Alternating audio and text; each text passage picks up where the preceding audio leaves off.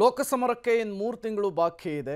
ಈ ಬೆನ್ನಲ್ಲೇ ನಾಳೆ, ಅಂದರೆ ಫೆಬ್ರವರಿ ಒಂದಕ್ಕೆ ಕೇಂದ್ರದ ಬಜೆಟ್ ಮಂಡನೆ ಆಗ್ತಾ ಇದೆ. ಮಧ್ಯಂತರ ಬಜೆಟ್ ಇದು. ಅದರಲ್ಲೂ ಚುನಾವಣೆಯ ಕೇಂದ್ರೀಕೃತ ಬಜೆಟ್ ಆಗಿರೋದ್ರಿಂದ ಈಗ ಜನಸಾಮಾನ್ಯರಿಗೆ, ರೈತರಿಗೆ, ಮಹಿಳೆಯರಿಗೆ, ನಿರುದ್ಯೋಗಿಗಳಿಗೆ, ಉದ್ಯಮಿಗಳಿಗೆ ಯುವಜನರಿಗೆ ಹೀಗೆ ಎಲ್ಲ ವಲಯದವರಿಗೂ ಕೂಡ ಸಹಜವಾಗಿಯೇ ನಿರೀಕ್ಷೆ ಹೆಚ್ಚಾಗ್ತಾ ಇದೆ.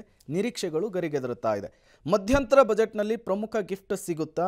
ಅಥವಾ ಏನಾದರೂ ಸ್ಪೆಷಲ್ ಅನೌನ್ಸ್ಮೆಂಟ್ ಆಗುತ್ತಾ? ಈ ರೀತಿಯ ಹಲವು ಚರ್ಚೆಗಳು, ವಿಶ್ಲೇಷಣೆಗಳು ಕೂಡ ನಡೀತಾ ಇದೆ. ಮಧ್ಯಂತರ ಬಜೆಟ್ನಲ್ಲಿ ಪ್ರಮುಖ ಘೋಷಣೆಗಳು ಇರಲ್ಲ ಅಂಥೇಳಿ ಸಚಿವೆ ನಿರ್ಮಲಾ ಸೀತಾರಾಮನ್ ಅವರು ಈಗಾಗಲೇ ಸುಳಿವನ್ನು ಕೊಟ್ಟಿದ್ರೂ ಕೂಡ ಜನರ ನಿರೀಕ್ಷೆಗಳು ಮಾತ್ರ ಹಾಗೇ ಇದೆ. ಹಾಗಿದ್ರೆ ಏನು ನಿರೀಕ್ಷೆ ಇದೆ? ಆರ್ಥಿಕ ತಜ್ಞರು, ರೈತರು ಮಧ್ಯಂತರ ಬಜೆಟ್ ಬಗ್ಗೆ ಹೇಳೋದೇನು? ಬನ್ನಿ ನೋಡ್ಕೊಂಡು ಬರೋಣ. ಫೆಬ್ರವರಿ ಒಂದರಂದು ಕೇಂದ್ರ ಬಜೆಟ್ ಇದೆ. ಅಂದರೆ ನಾಳೆ ಜನಸಾಮಾನ್ಯರ ನಿರೀಕ್ಷೆಗಳು ಈ ರೀತಿಯಾಗಿದೆ. ಈ ಬಾರಿ ಮಹಿಳೆಯರಿಗೆ ಮಧ್ಯಂತರ ಬಜೆಟ್ನಲ್ಲಿ ಗಿಫ್ಟ್ ಸಿಗುವಂತಹ ನಿರೀಕ್ಷೆ ಇರುವಂತಹದ್ದು. ಕಾರಣ ಪ್ರಧಾನಿ ನರೇಂದ್ರ ಮೋದಿಯವರಿಗೆ ಅತಿ ಹೆಚ್ಚು ದೊಡ್ಡ ಮಹಿಳಾ ಮತದಾರರ ಫ್ಯಾನ್ ಫಾಲೋವರ್ಸ್ ಇದ್ದಾರೆ. ಸಹಜವಾಗಿಯೇ ಈ ಬಾರಿ ಅವರಿಗೆ ಒಂದು ಗಿಫ್ಟ್ ಸಿಗಬಹುದು ಅನ್ನುವಂತಹ ನಿರೀಕ್ಷೆ ಇದೆ. ಕಾರಣ ಚುನಾವಣೆ ಕೇಂದ್ರೀಕೃತ ಬಜೆಟ್ ಆಗಿರುವ ಹಿನ್ನೆಲೆಯಲ್ಲಿ ಇನ್ನು ಮಹಿಳಾ ಪರ ಯೋಜನೆಗಳು ಘೋಷಣೆಯಾಗುವಂತಹ ನಿರೀಕ್ಷೆ ಇದೆ. ಜೊತೆಗೆ ತೆರಿಗೆಯ ವಿಚಾರದಲ್ಲಿ ಹೆಚ್ಚಿನ ಬದಲಾವಣೆಗಳ ಆಗಲ್ಲ ಅನ್ನುವಂತಹ ನಿರೀಕ್ಷೆಯನ್ನು ಕೂಡ ಜನಸಾಮಾನ್ಯರು ಇಟ್ಕೊಂಡಿದ್ದಾರೆ.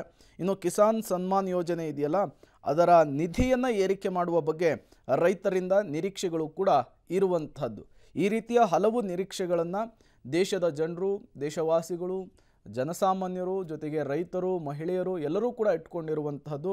ಈಗಾಗಲೇ ನಿರ್ಮಲಾ ಸೀತಾರಾಮನ್ ಅವರು ವಿತ್ತ ಸಚಿವರು ಸುಳಿವನ್ನು ಕೊಟ್ಟಿದ್ದಾರೆ. ಯಾವುದೇ ರೀತಿಯ ಪ್ರಮುಖ ಘೋಷಣೆಗಳು ಇರಲ್ಲ ಅನ್ನುವಂತಹ ಸೂಚನೆಯನ್ನು ಕೊಟ್ಟಿದ್ದಾರೆ.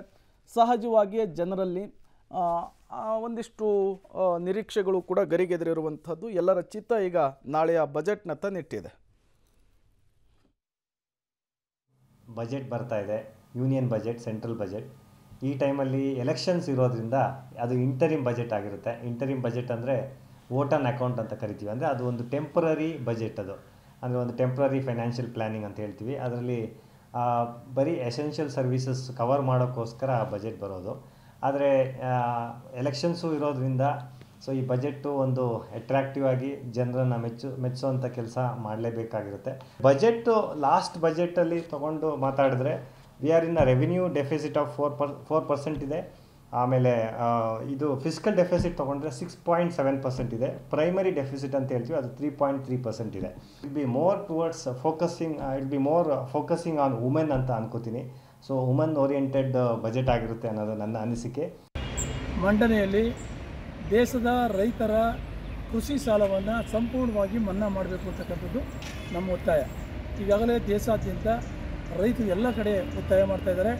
ಹನ್ನೆರಡು ಲಕ್ಷ ಕೋಟಿ ರೂಪಾಯಿ ಬಂಡವಾಳಶಾಹಿಗಳ ಉದ್ಯಮಿಗಳ ಸಾಲವನ್ನು ಮನ್ನಾ ಮಾಡಿದ್ದಾರೆ. ರೈತರು ದೇಶದ ಬೆನ್ನೆಲುಬು ಅಂತಾರೆ. ರೈತರು ಕೃಷಿಯಿಂದ ವಲಸೆ ಹೋಗ್ತಾ ಇದ್ದಾರೆ. ಇಂಥ ಸಂದಿಗ್ಧ ಪರಿಸ್ಥಿತಿಯಲ್ಲಿ ರೈತರ ಸಾಲ ಮನ್ನಾ ಮಾಡ್ತಕ್ಕಂಥದ್ದು